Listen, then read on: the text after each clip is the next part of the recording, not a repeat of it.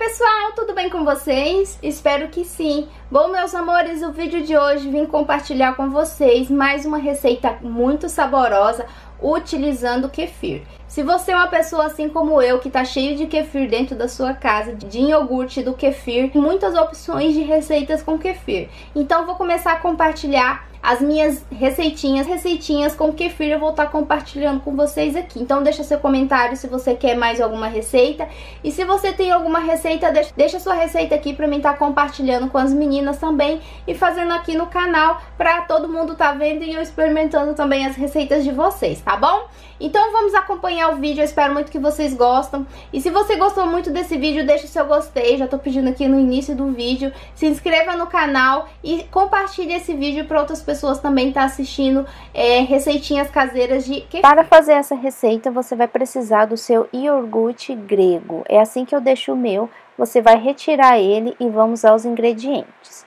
Para o seu ingrediente, você vai precisar de uma colher de sal, azeite e orégano é tudo a gosto pela quantidade que você tem do seu iogurte grego. Você vai fazendo e experimentando para ver se está, se está do seu agrado.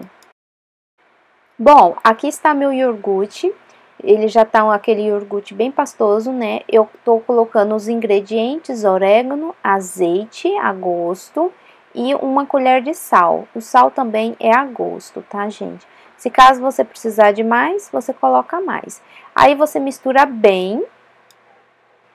Gente, olha só como que ficou a consistência bem cremosa, está uma delícia. Não tem segredo, fazer bem facinho. Olha só como que ficou a minha torradinha. Eu coloquei na bolacha, tá? Fica muito saboroso. Olha só a quantidade que dá o, o kefir assim, olha. Olha só, fica muito, muito gostoso. Essa receitinha é bem simplesinha. Ó, esse aqui é o meu kefir que eu sempre tô usando aqui em casa. E dá muita, uma quantidade muito boa, vocês viram?